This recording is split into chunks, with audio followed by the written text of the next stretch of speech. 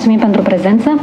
Permiteți-mi să vă prezint principalele activități desfășurate de Ministerul Afacerilor Interne în ultimele două săptămâni pentru combaterea infracționalității și pentru asigurarea respectării regulilor de protecție sanitară. În ultimele 14 zile, pentru destructurarea unor grupări infracționale, au fost organizate peste 70 de acțiuni operative de amploare, în cadrul cărora au fost efectuate 454 de percheziții domiciliare. În urma acestor activități, au fost dispuse măsuri preventive față de 296 de persoane. 120 de persoane au fost reținute, 92 au fost arestate preventiv. De asemenea, 80 de persoane au fost plasate sub control judiciar, iar față de alte patru s-a dispus măsura arestului la domiciliu. În plus, în urma acțiunilor de amploare, au fost dispuse măsuri asiguratorii în valoare de peste 14 milioane de lei. O să vă prezint acum și câteva cazuri semnificative. Polițiștii Direcției de Combatere a Criminalității Organizate, luptătorii SIAS și procurorii DICOT au efectuat 30 de percheziții pentru destructurarea unei grupări infracționale, ale cărui membri ar fi comis infracțiuni de șantaj, proxenetism, viol, trafic de influență, evaziune fiscală, spălarea banilor și tentativă la omor calificat. Perchezițiile au avut loc în București și în județele Ilfov, Vaslui și Brașov. 12 membri ai grupării au fost reținuți, iar față de doi a fost luată măsura controlului judiciar.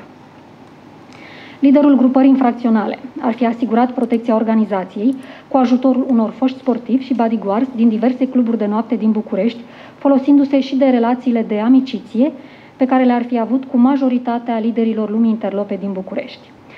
Acesta este cunoscut pentru faptul că ordona acțiuni extrem de violente împotriva persoanelor cu care avea divergențe în ceea ce privește activitățile infracționale. În cel puțin două situații, liderul grupării ar fi ordonat oamenilor săi să-i atace în trafic pe rivali în timp ce se aflau în zone necirculate.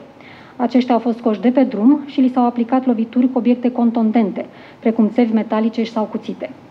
Începând cu anul 2012, liderul grupării ar fi coordonat derularea unor activități de proxenetism pe teritoriul mai multor țări europene, precum Elveția, Italia, Franța, Germania, Marea Britanie și Spania.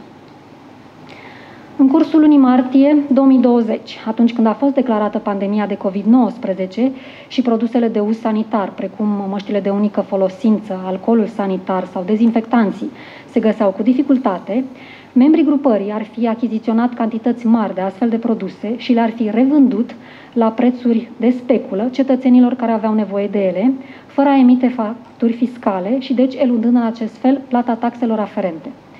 Cercetările cu privire la activitatea acestei grupări infracționale au fost demarate de polițiștii de combatere a criminalității organizate și de procurorii DICOT, iar pe parcursul cercetărilor, având în vedere calitatea unora dintre suspecți, a fost solicitat sprijinul Direcției Generale Anticorupție. Ofițerii Direcției Generale Anticorupție au desfășurat acțiuni investigative sub acoperire, cu grad înalt de complexitate, pentru documentarea faptelor a doi polițiști care ar fi sprijinit activitatea grupării de crimă organizată.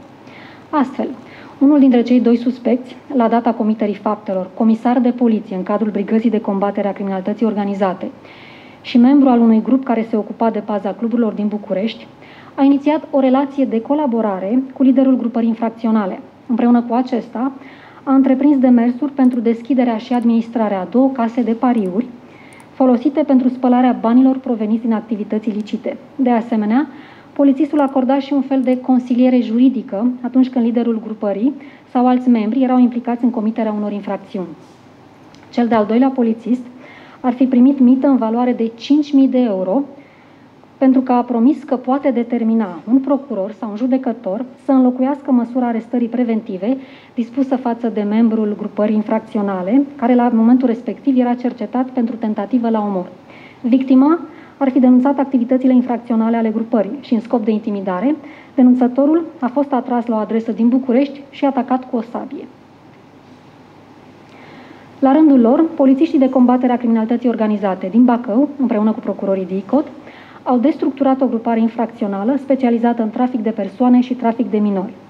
Membrii grupării ar fi racolat de pe teritoriul României și transportat în țări din UE mai multe tinere pe care le-ar fi obligat să practice prostituția. Acestora li s-au reținut actele de identitate și erau agresate fizic dacă nu se supuneau ordinelor membrii grupării infracționale.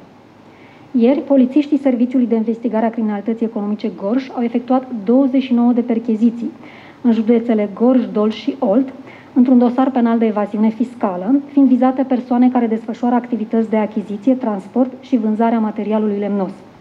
Prejudiciul estimat este de peste 2 milioane de lei.